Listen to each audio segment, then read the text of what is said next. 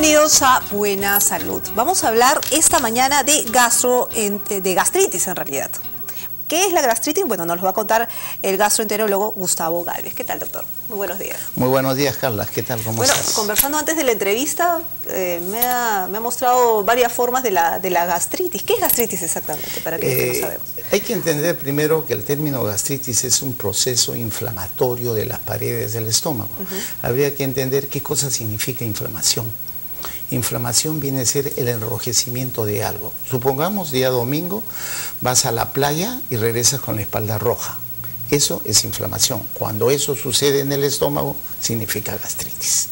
¿Qué quiere decir esto? El estómago tiene sistemas agresivos y sistemas defensivos que están en equilibrio. Cuando el sistema agresivo vence al sistema defensivo, se produce la gastritis. Entonces, en esto tenemos bastantes causas que nos pueden provocar la gastritis. Ahora, ¿qué tipo de causas? ¿Por qué estos líquidos agresivos invaden a los ya, Normalmente el estómago fabrica dos productos, uno que se llama ácido clorhídrico y otro que se llama pepsina. Cuando estos entran en contacto con la pared del estómago se produce la gastritis. Entonces cuando hay mecanismos que rompen el sistema defensivo que normalmente tiene el estómago, se va a producir la gastritis. El ejemplo más clásico es el Helicobacter pylori, que es una bacteria que tiene la forma de un tirabuzón, y ahí viene su nombre, helico, de helicoidal, Bacter, bacteria, bacteria en forma tirabuzón, pylori porque se encontró en una parte del estómago. El estómago tiene una parte alta que se llama fondo, otra parte que se llama cuerpo y una parte baja que se llama píloro. En esa parte, el año 1982, dos médicos australianos, el doctor Warren y el doctor Marshall, describieron por primera vez la presencia de esa bacteria. ¿Esa bacteria está con nosotros siempre? No, no. Esa es una bacteria que se adquiere con los alimentos, básicamente agua o verduras de tallo corto regadas con agua no propicia. Por ejemplo, uno nunca lo va a encontrar en un racimo de uva, nunca lo va a encontrar en un plátano, tallo largo difícil que llegue, pero una fresa que está rastrera al piso, una lechuga, un apio, un por, un rabanito, que están dentro de la tierra, llega agua sucia, llega la bacteria, llega la bacteria, eh, mal, lavada, mal lavada, lo llevan al mercado, uno lo consume, viene un amigo y te dice, Carla, tengo un guarique donde venden un ceviche buenísimo, vamos, pero yo no sabemos de dónde procede esa lechuga. Esa lechuga puede estar regada con agua indebida. Ahora, ¿nuestro organismo tiene algún tipo de defensa para esa bacteria?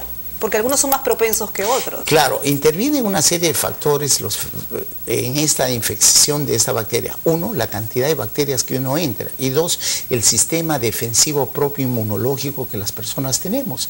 Hay personas más fuertes y hay personas más débiles. En los más débiles es más frecuente que el cuadro se dé y se dé a repetición. Ahora, ¿cuáles son los síntomas? ¿Cuándo uno debe estar alerta de que algo le está sucediendo en el estómago? Eh, cuando eso con respecto al helicobacter, la persona se va a quejar de que tiene un dolor en la boca del estómago, como una sensación de quemazón, como si nos mordiera permanentemente y nos está fastidiando en la boca del estómago. De repente una sensación de languidez, de vacío y que quiere comer y que pasa y no pasa. Eso no va a producir el helicobacter. Lo que pasa es que el helicobacter se asocia con la úlcera, se asocia con la gastritis, se asocia con el cáncer y se asocia con un tipo de linfoma. El linfoma es un cáncer de los tejidos linfáticos que todo el cuerpo lo tiene, el estómago, el intestino. Entonces cuando es linfoma gástrico, que asociado al helicobacter lo que produce el maltoma. ¿no? Ahora, el tema es matar el helicobacter. Matar el helicobacter. ¿Cierto? ¿En un tratamiento muy largo no? No, este, hay, es, hay diferentes esquemas, de 7 a 14 días es el tratamiento. Entonces, el, como promedio 10 días, se usan tres medicinas por primera vez, pero si es que la persona no logra solucionarlo, hay que cambiar el esquema a 14 días, variar los mm. antibióticos y todo. Y una cosa que yo lo aprendí en un congreso que fui a Estados Unidos es el uso del brócoli. El brócoli como medida coadyuvante para ayudar a, eliminar el helicobacter. ¿Así? ¿Ah, ¿Cierto? El brócoli tiene un producto sulfurona que es una sulfa entre su estructura. Entonces ellos presentaron este trabajo en Estados Unidos y después lo publicaron en una revista que se llama Science, donde unos japoneses demostraban el efecto beneficioso del brócoli. 100 gramos diarios por dos meses. Pero algunos doctores mencionaban que el brócoli generaba gases y ah, generaba más problemas. una, una cosa es gas y otra cosa es helicobacter. Ah, ok.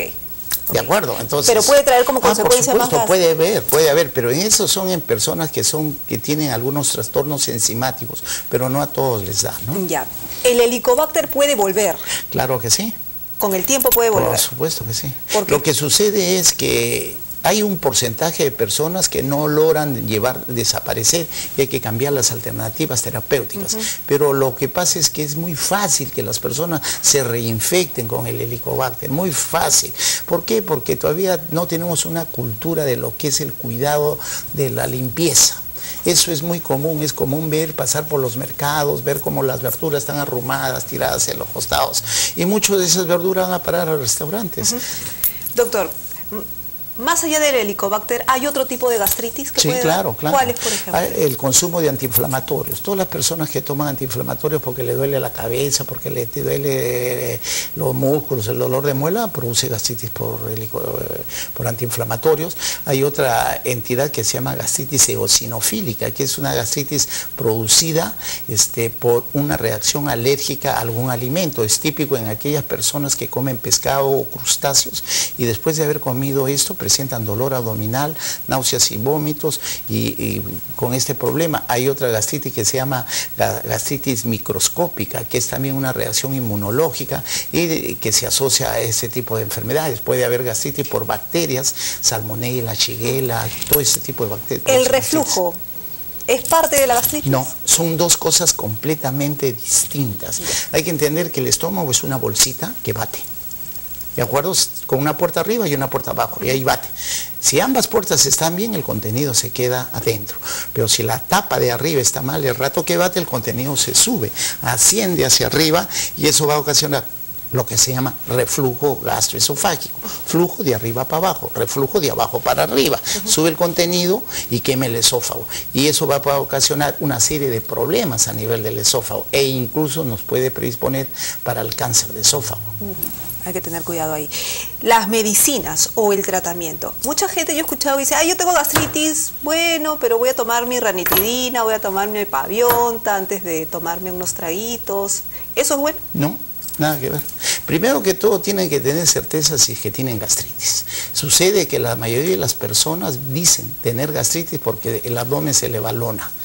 Dice, doctor, estoy, inflamado, mire mi barriga. y, eso no es. Eh, pues eso no es gastritis. Eso simplemente se llama dispesia fermentativa o gases por algo que uno come, pero eso no es gastritis. Gastritis tiene que haber ardor, quemazón, fuego, como cuando uno se quema la piel con un cigarro o algo y quema, igualito nos quema acá. Eso nos lleva. ¿La gastritis se lleva a la úlcera? No necesariamente. Puedo tener gastritis y no tener úlcera, o puedo tener úlcera y no tener gastritis. Son etapas de, cosas que se van a ir dando. ¿no?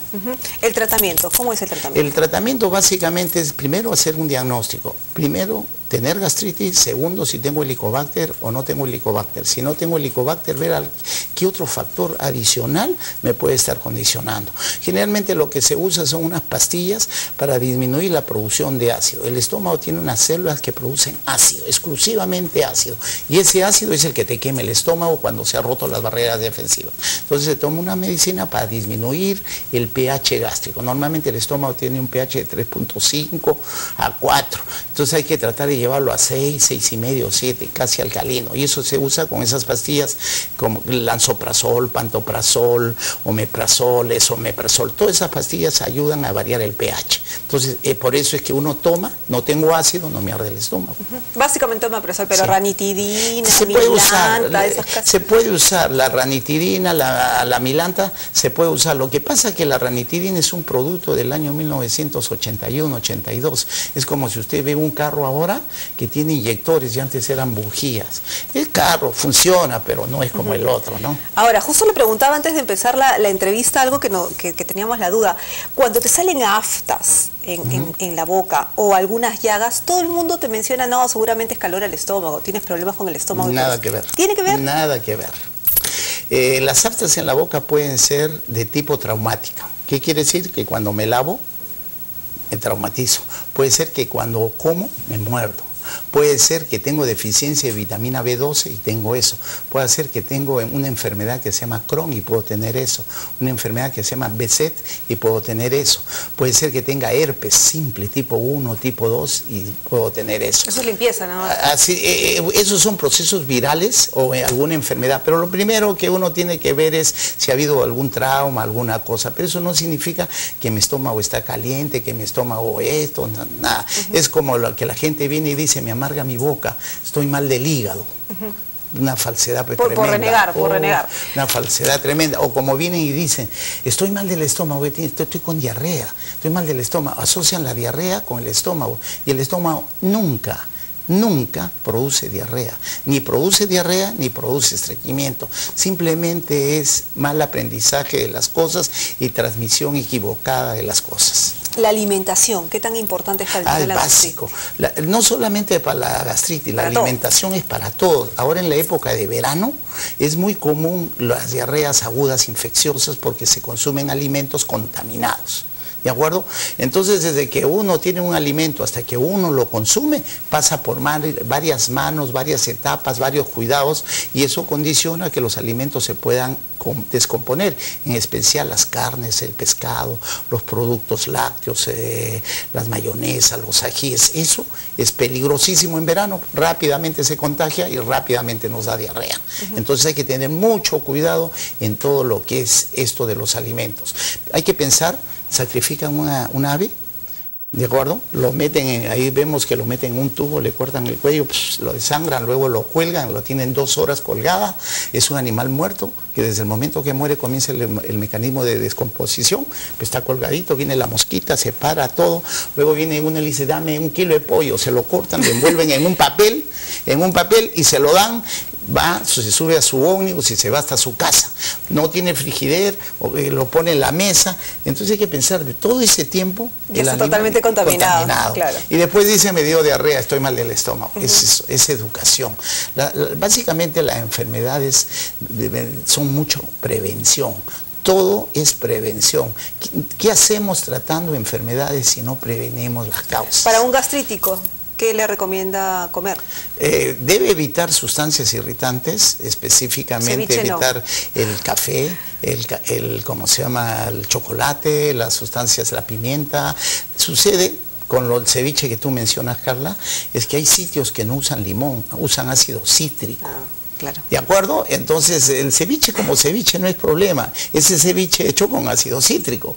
Igual que usan este, el vinagre, que no es vinagre de la, de la uva, sino es vinagre producto, porque es ácido acético, producto del ácido acético químico, porque sale más baratito. Y como en el Perú el control de calidad es bien tela, sucede eso, ¿no? Doctor, eh, usted habló del helicobacter y ya, ya me preocupó porque todo el mundo se puede contagiar. ¿Cuáles son las recomendaciones de limpieza de los alimentos para evitar consumir el helicobacter? Primero que todo, el agua hay que tratar que esté bien clorificada y hervida. ¿De acuerdo? Hay que tener eso. Segundo, las verduras, ver su origen y su procedencia.